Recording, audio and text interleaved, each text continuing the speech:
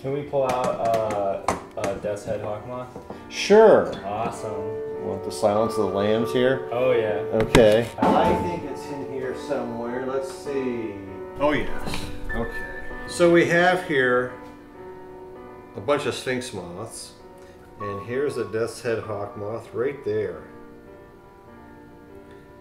The cool thing is that Lepidoptera, which would be the moths and the butterflies, have their tongues coiled up underneath their head, just sort of like a like a watch spring and it extends when they feed on, on, the, on the flowers for the nectar.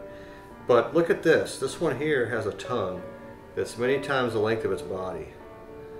And then of course, if you have a really, really, really long tongue like that, it means the flower has evolved to have the nectar source way at the very bottom. So it's a really long trumpet-shaped flower this thing feeds in. It's just a fascinating group. Some are day flying, uh, most of them fly at night, but they're really very cool. And these are hummingbird sphinx moths with the uh, the the scales that get worn off the wings soon after they start flying around. And they're a common day flying species you would find in Michigan gardens as well.